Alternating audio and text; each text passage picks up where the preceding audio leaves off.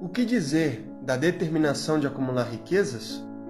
O livro de Provérbios avisa que as riquezas não são seguras e podem desaparecer subitamente.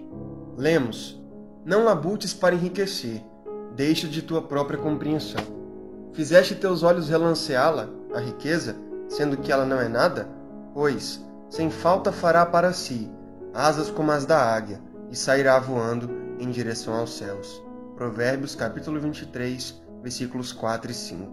Visto que fortunas imensas podem ser perdidas rapidamente, por serem manejadas deficientemente ou por circunstâncias imprevistas, as Escrituras admoestam as pessoas a dirigir seus esforços na direção de alguma coisa mais segura do que a busca das riquezas.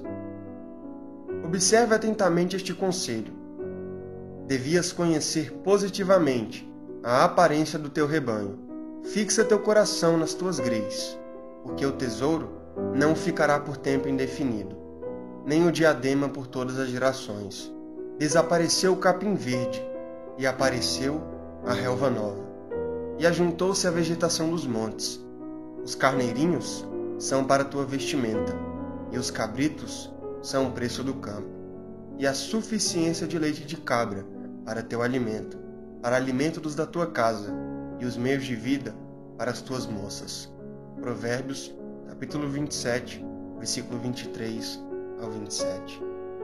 Nem as riquezas materiais, representadas pela palavra tesouro, nem uma posição de destaque, representada pela palavra diadema, garantem segurança real. Tempo, esforço e dinheiro investidos em negócios com frequência se perdem devido ao fracasso de empreendimentos arriscados. Acontecimentos inesperados podem causar o desaparecimento súbito, tanto da riqueza como da posição respeitável. Note isto na vida de Jó, capítulos 1 a 3. Por outro lado, esforços empregados na criação de animais domésticos não resultam em decréscimos, mas geralmente resultam em acréscimos para o proprietário. Deus provê vegetação abundante para alimentar os animais domésticos.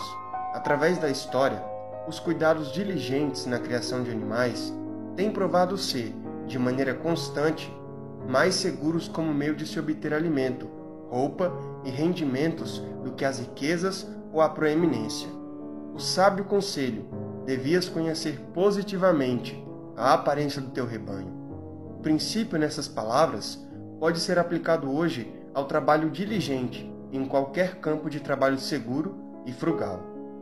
O livro de Provérbios, embora escrito há muitos anos, contém orientação incomparável para as pessoas que vivem hoje. Leia estas palavras inspiradas regularmente. Medite nas suas lições.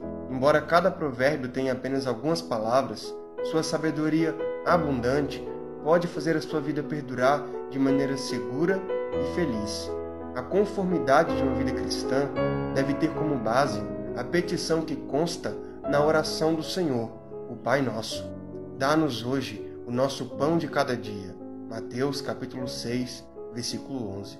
Somos peregrinos, mas não órfãos, em uma terra longe de ser aquilo que poderia ser e ainda estranha. Logo estaremos naquele descanso que nos foi preparado por Deus.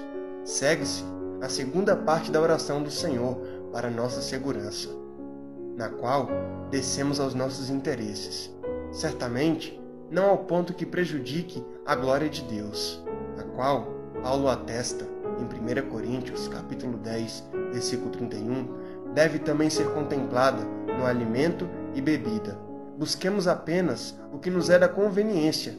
Pedimos de Deus todas as coisas em geral de que o uso do corpo necessita sob os elementos deste mundo, não somente com que sejamos alimentados e sejamos vestidos, mas também tudo quanto Ele mesmo antevê que nos conduza a que comamos nosso pão em paz. Em suma, por esta petição, nos entregamos a seu cuidado e nos confiamos à sua providência, para que nos dê alimento, sustente e preserve.